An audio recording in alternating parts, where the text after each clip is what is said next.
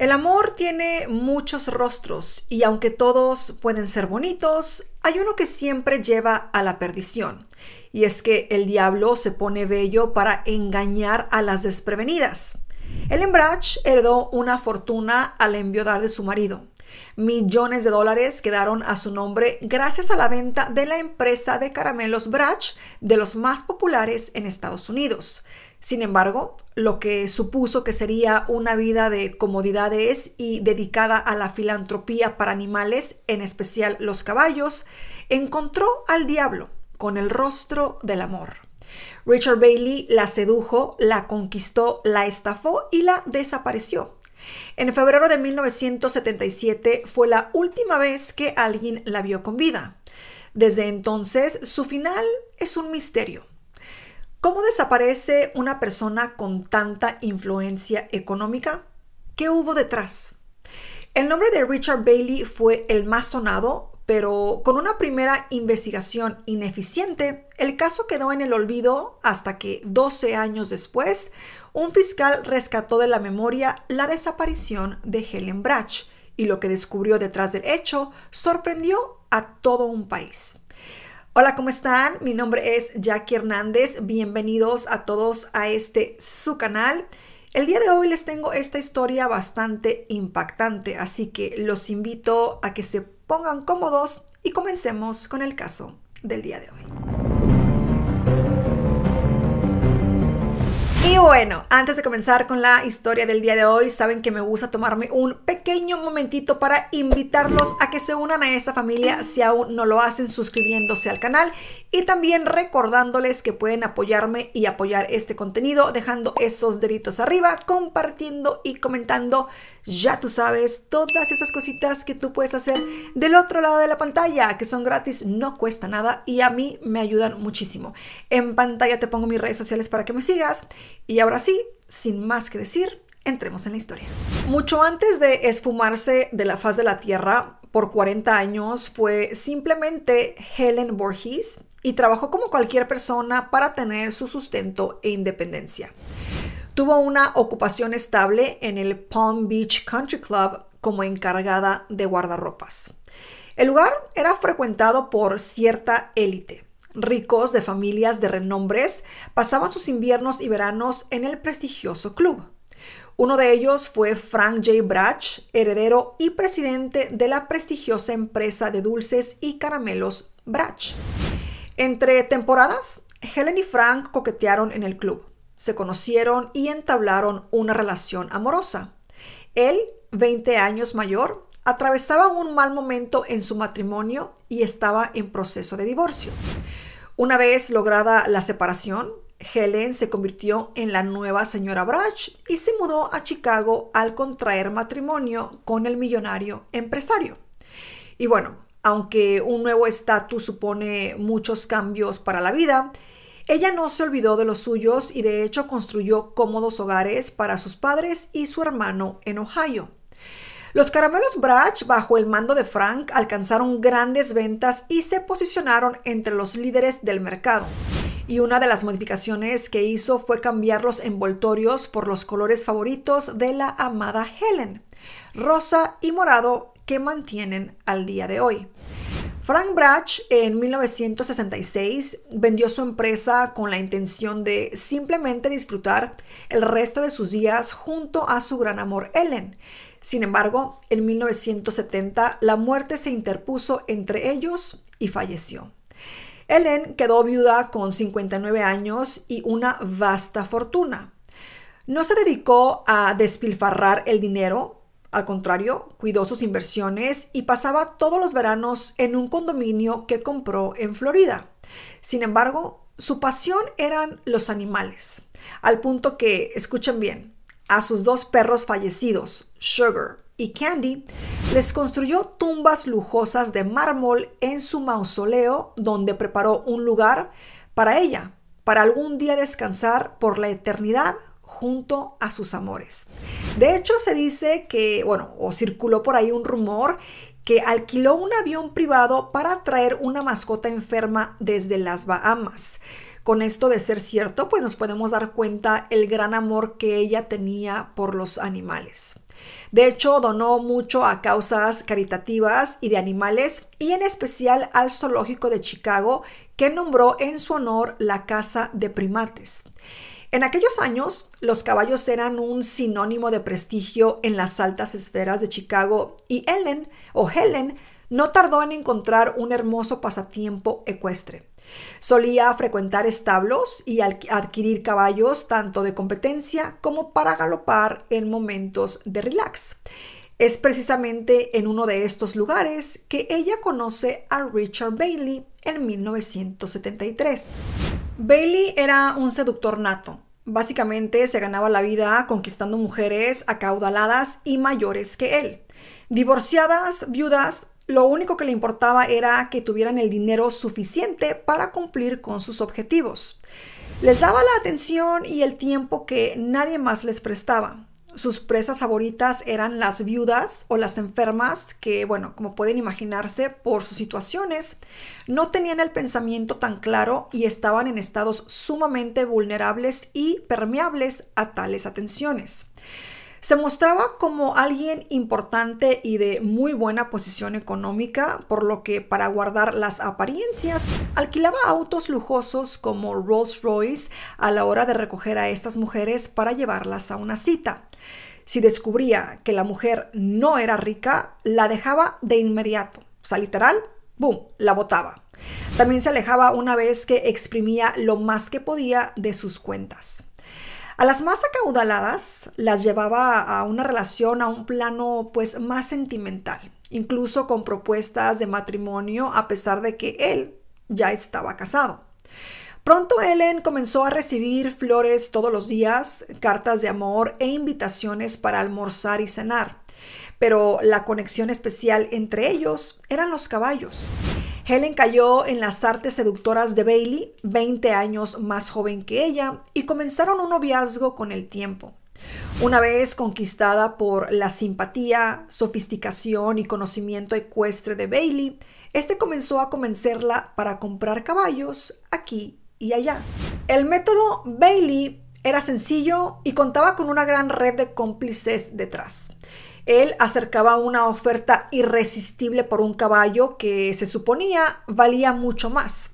La mujer quedaba, maravillada al conocer al animal, que de hecho estaba previamente drogado por, por, un veterinario para que parezca un campeón. Y una vez que ponía el dinero, con el tiempo descubría que el caballo no era apto para el deporte o tenía problemas de salud. Esto se traducía en más gastos de establos, veterinarios y todo esto bajo la órbita de Bailey.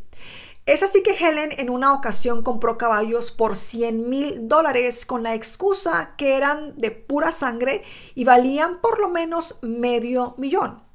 La verdad era que Bailey los había adquirido por 20 mil dólares. Se estima que la embabucó por un aproximado de 400 mil dólares en los años que duró la relación. Pero Helen no era mujer de malgastar el dinero. Cuidaba sus finanzas y contrató un contador independiente que la ayudó a descubrir la estafa. Bailey fue puesto entre la espada y la pared. Pasó sus últimas dos décadas perfeccionando el arte de la estafa a mujeres de mucho dinero y se granjeó de una red de cómplices bastante sólida. Había recibido en ese tiempo denuncias, pero la llamada mafia de los caballos se encargaba de silenciar cualquier voz con ánimos de dejar esto al descubierto. Bueno, esto y sus, sus malas maniobras. Bailey tenía la impunidad de su lado y su nombre era Silas Jane. Este era el jefe de la organización criminal que operaba en el mundo ecuestre. Helen Brach era un pez gordo, era la mujer más rica de todo Chicago y entre ellos se jactaban de la cantidad de dinero que podrían sacarle. Bailey y sus cómplices se referían a ella en tono burlón como Candy Lady, es decir, la dama de los caramelos. Cuando corrió el rumor de que Candy Lady descubrió la estafa, las alarmas inmediatamente se encendieron. Una mujer de su posición tendría el poder y la influencia necesaria para poner a las autoridades detrás de Bailey y sus asociados. Había que silenciar a Brach. Era 1977 y Helen tenía programado un viaje a Rochester, Minnesota, para hacerse chequeos de rutina en la clínica Mayo. Los médicos la declararon en plena forma y saludable a sus 66 años. Habló con una amiga y contó que al volver pensaba hablar con un fiscal para llevar a Bailey y sus socios ante la justicia. Sin embargo, el 17 de febrero de ese año fue la última vez que alguien admitió haberla visto con vida. Tengo prisa, mi criado está esperando. Esas fueron las últimas palabras de Helen Brach, según la empleada de una tienda de regalos. Los investigadores construyeron sus pasos desde que salió de la clínica Mayo y descubrieron que paró en esa tienda de camino al aeropuerto, el aeropuerto de Rochester. ¿Quién era el criado? Jack Maltic fue el mayordomo de Helen que tuvo siempre en su mansión de 18 habitaciones en Glenview, en los suburbios de Chicago. Pero en su interrogatorio dijo no haberla acompañado a Rochester. En su testimonio, Maltik contó que llevó a la señora Brach al aeropuerto O'Hare de Chicago y luego la recogió a su vuelta de Minnesota el 17 de febrero de 1977. Contó que Helen se quedó en su mansión de Glenview durante cuatro días, mientras que él hacía los trabajos normales de mantenimiento y que luego la llevó de nuevo al aeropuerto porque ella pasaba siempre en esa altura del año una temporada en su condominio, en su condominio que había comprado en Florida. Con esto, Jack Maltic se convirtió en el último en haber tenido un contacto con Helen Brach. Sin embargo, Tardó semanas en denunciar esta desaparición de su jefa, previa consulta con el hermano de Helen, por lo que cosechó suspicacias en los investigadores y en los medios de comunicación. Como en una historia escrita por Arthur Conan Doyle, todos dijeron, el mayordomo lo hizo. Y es que hubo datos que no ayudaron mucho a limpiar su implicancia en la desaparición de Helen Brach. Para empezar, se encontraron sus maletas hechas en su habitación. O sea, eso indicaría que ella jamás salió de viaje. El jardinero de Helen, mientras cumplió su, labor, eh, aseguró no haber visto a la señora en esos cuatro días. Incluso le pareció raro ver que Maltic limpió la habitación de la criada. Mientras más eh, recababan información, los detectives descubrieron que Jack Maltic en esos días Pintó dos habitaciones que cambió una alfombra e hizo detallar los interiores y exteriores del lujoso Cadillac de Helen. Algo bastante, no sé, sospechoso, ¿no creen? Además, amigos de la mujer aseguraron haber sido rechazados por el mayordomo cuando llamaban por teléfono o se apersonaban en el lugar. Maltic siempre se excusaba con que la señora no estaba o estaba ocupada o descompuesta. Nadie en esos cuatro días se pudo comunicar con ella y mucho menos verla. Para colmo, se registró que Jack Maltic viajó en el Cadillac a una granja apartada perteneciente a Helen y que encargó de los almacenes Marshall Fields artículos para picadora de carne. Las pruebas se cernían en torno al mayordomo, Incluso eh, falsificó la firma de Helen en seis cheques por 13 mil dólares y se quedó con 75 mil dólares en efectivo. En los interrogatorios falló dos veces la prueba del detector de mentiras al ser consultado sobre las últimas horas que pasó con la señora Brach. Sin embargo, todo esto fue desestimado. Richard Bailey entró en la órbita de los investigadores al ser el novio pero el estafador de mujeres negó siquiera conocerla. Tenía una coartada.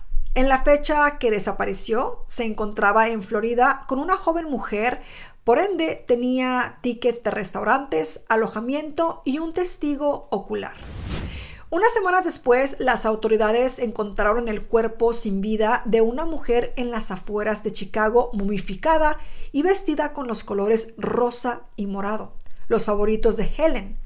Todo eso suponía que se trataba de Candy Lady, pero la dentadura podría saber su identidad. Enviada a la morgue cuando al otro día el forense se dispuso a hacer la autopsia y análisis para establecer la identidad del cuerpo, se encontró que faltaba la cabeza. Alguien se había metido por la noche y cortó la cabeza. Bastante fuerte esto. No había muestras, pues, ni de sangre de Helen y como no tuvo descendencia, no había modo para saber si se trataba de ella. La mujer encontrada sin vida fue enterrada como NN en una tumba pobre. El caso se enfrió y en 1984 fue declarada legalmente desvivida debía ejecutarse su herencia. La mayoría fue hacia su hermano en Ohio y el resto a tareas filantrópicas para animales, como la creada Fundación Helen Brach para la prevención de la crueldad hacia los animales, los niños y la promoción de las artes y ciencias. El nombre de la que fuera la mujer más rica de Chicago y del estado de Illinois con el paso de los años se olvidó en los despachos policiales y judiciales mientras la gente y los medios compartían y creaban teorías sobre su paradero o desaparición. Hasta que en 1989 un caso llegó a manos del fiscal Steve Miller y su equipo. Una acaudalada mujer había sido estafada con caballos por un tal Richard Bailey. Hmm, bastante familiar a lo que acabamos de escuchar. Todos sabían de la mala fama de Bailey. Era un personaje turbio en el mundo ecuestre, pero Miller recordaba que su nombre estuvo ligado a la desaparición de la reina de los caramelos. Comenzó a investigar junto a su equipo y el hilo que tiró desarmó el ovillo criminal más cuidado de Chicago, con décadas operando desde las sombras. Los dueños de los establos señalaban, eh, señalaban a mujeres solas, ricas, para que Bailey fuera la sedujera, quienes, bueno, eventualmente se convertían en personas que querían invertir en caballos que, bueno, como ya lo escucharon, no servían para carreras. Las, las mujeres gastaban miles y miles en cuidados, entrenamiento y mantenimiento.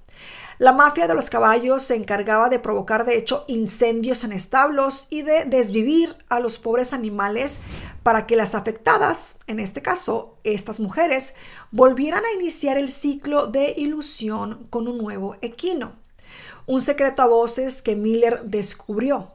Pero tenía una nueva meta y era relacionar a Bailey con la desaparición de Brach. Silas uh, Jane, el jefe de esta organización criminal, había fallecido en 1987, pero su imperio oscuro había quedado a cargo de su hijo Frank. Un testigo dijo a Miller y su equipo que escuchó una conversación entre Silas, Frank y Richard Bailey en su momento, donde los jefes mafiosos le decían a Bailey que Brach sabía demasiado y debía desaparecer. La testigo era nada más y nada menos que la hija de Frank Jane. Miller retomó el expediente de los investigadores en, 1977 y se sorprendió de la poca importancia que le dieron a Bailey. Incluso en 1979 se encontró escrito en una calle en letras rojas, Richard Bailey sabe dónde está el cuerpo de la señora Branch. Deténganlo, por favor. O sea, imagínense esto, un dato bastante, o sea, interesante como para que, para dejarlo de fuera de una investigación, ¿no creen? Pero bueno, esto no fue suficiente, su nombre seguía siendo desestimado. Comenzó a ceñir la investigación sobre, eh, sobre esa persona y las declaraciones de diferentes personas le indicaron el buen camino. La suerte estaba del lado de los fiscales y llegaron al criminal, al criminal, perdón, Joe Plemons, de la larga data de colaboraciones en este mundillo y confesó, y confesó que Bailey en aquellos años le ofreció 10 mil dólares para desvivir a Candy Lady. Miller y su equipo tenían pruebas para aportar a la corte luego de una larga investigación de cinco años y apresaron a Richard Bailey y a su banda en 1994 entrenadores, veterinarios, dueños de establos, el AMPA de los caballos cayó ante la justicia. Pero en el estrado, sin pruebas físicas y forenses y sin un cuerpo, sería muy difícil probar el desvivir de Helen Brach. Y bueno, aunque todo apuntaba a Bailey, en especial por el testimonio de Plemons, este en el 2004 se contradijo en sus declaraciones al afirmar que el estafador de mujeres no tuvo absolutamente nada que ver. Incluso afirmó haber sido él quien la liquidó por orden de la mafia de los caballos, la familia Jane. Siguiendo órdenes fue al encuentro de dos matones que tenían en el piso a Helen golpeada y ya casi desvivida Recibió la pistola y la obligación de terminar el trabajo y esto lo hizo disparando dos veces. Murió en el 2016 a los 69 años sin que se investigaran sus declaraciones. Me pregunto yo, ¿quiso llamar la atención o contaba la verdad? Porque en un punto dio una declaración y después la cambió por completo? Bastante interesante, ¿no creen? ¿Será que alguien lo obligó a declarar eso? ¿O será que en algún punto realmente contó la verdad? Pero bueno, todo esto se suma a lo complicado del caso. Por otra parte, la defensa de Bailey se basó en poner en relevancia los nombres del mayordomo, Jack Maltic, y los de Jane. Se trató de un criminal y estafador muy astuto. En 1995, Richard Bailey se declaró culpable de asociación ilícita, estafa y engaño a más de 20 mujeres. Nunca se sabrá si dio la orden o fue quien jaló el gatillo para quitar del camino a Helen Brach. Pero bueno, la, ardua investigación de la fiscalía eh, a cargo de Stephen Miller logró que el juez encontrara a Richard Bailey culpable de conspiración eh, por el desvivir de Candy Lady o de Helen Brach. Con 65 años fue condenado a 30 años en prisión. Por décadas defendió su inocencia y sus apelaciones fueron una y otra vez rechazadas. Juró no haber eh, desvivido a Helen y señaló que seguramente varios fueron los involucrados detrás del macabro caso. Finalmente fue liberado en julio del 2019 con 90 años. Vivió en Orlando en una misión cristiana de ayuda hasta que en agosto del 2023 murió por una neumonía, llevándose consigo el secreto de la desaparición de Helen. Mientras estaba en prisión, decidió escribirle una canción a su Candy Lady que decía algo así. Sé que ella está en el cielo sonriéndome. Algún día estaremos juntos en la eternidad. Estoy tratando de aguantar hasta ese día. Nos abrazaremos y nos besaremos para quitarnos las lágrimas. Ojalá supiera realmente lo que pasó. Puedo adivinarlo, pero eso no es lo mismo. ¿Por qué alguien querría lastimarla? Le pido a Dios que no sienta dolor. Y bueno, estamos llegando al final de esta historia, así que quédense hasta el final para que escuchen mi opinión muy personal al respecto de este caso. Bueno, más de cuatro décadas rodean la misteriosa desaparición de Helen Brach. No hay dudas que sufrió el peor de los destinos en manos de gente sin escrúpulos. Bailey, Maltique, Jane, Plemons son algunos de los nombres relacionados con su triste final. Por la red de corrupción en la que se, manejaban, eh, se manejaba la mafia de los caballos y la gran maraña de colaboradores alrededor de tal organización, no es descabellado pensar que estuvieron todos juntos en una conspiración que buscó callar una voz influyente y poderosa de una mujer sin miedo. Su desaparición trajo diversas teorías, la más, eh, o bueno, las más divulgadas, hablan de que fue quemada en un horno de un establo, disuelta en una tina química y la más famosa, que su cuerpo se encuentra enterrado en el terreno del centro ecuestre Glen Grove de Chicago.